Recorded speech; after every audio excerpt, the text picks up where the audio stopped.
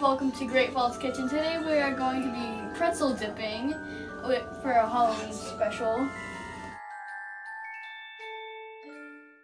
First, you take your pretzel and you dip it. I'm going to do a red. So, you dip the pretzel into the uh, wafer.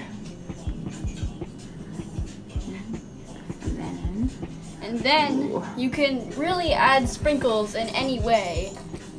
Um, I'm just going to sprinkle it on here.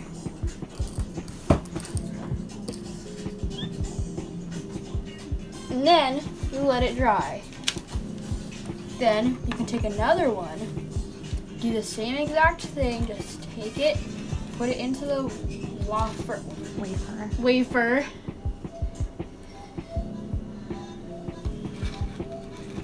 You can really add as much chocolate wafer as you really want to. Uh, you can roll it in in the pr- sprinkles.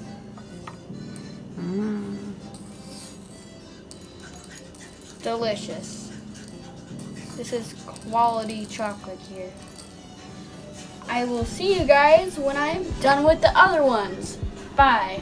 Okay, so I have sprinkled them right already, and after about 10 minutes they should be hardened and you will be able to eat them. Of course, I did not sprinkle at each and every single one of them. I, I didn't sprinkle two of them because I am honestly not a big fan of sprinkles.